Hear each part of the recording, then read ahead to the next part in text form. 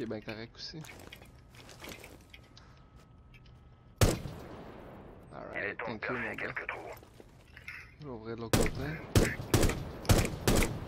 Ciao. Oh man!